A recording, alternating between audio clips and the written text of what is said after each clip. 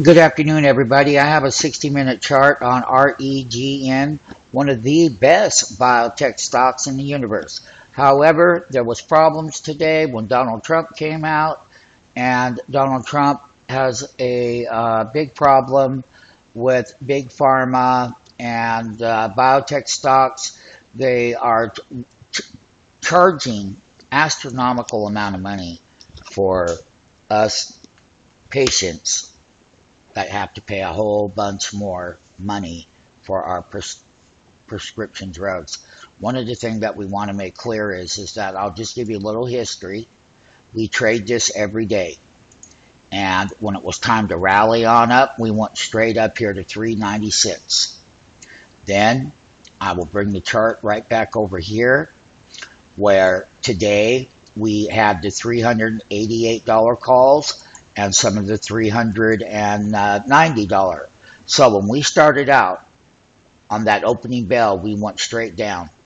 And part of the reason is, is that um, JP Morgan Chase conference, there was a $24 short for us. They came out with their earnings, JP Morgan conference presentation at, for 2017 capex of 375 to 450 million and then here is the actual filings on uh, REGN.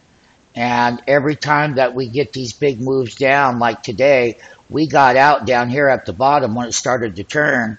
And, you know, our high frequency trading technologies, these diamonds that you see right here are our robots. We are a market making firm. We have market makers in the live trading room. You are not going to find that anywhere else. You can go ahead and hang out with your day trading stuff. You'll never make the kind of money that we make.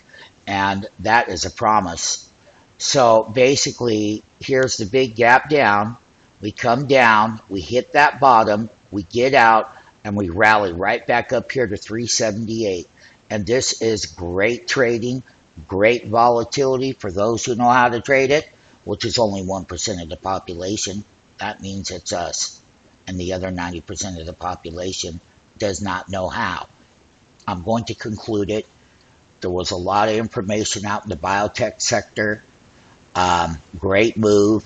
This thing paid about $37,000. For some people, it paid $10,000. And then, you know, for some people, it paid $5,000. But it doesn't matter. What matters is we're a market making firm and we're market makers.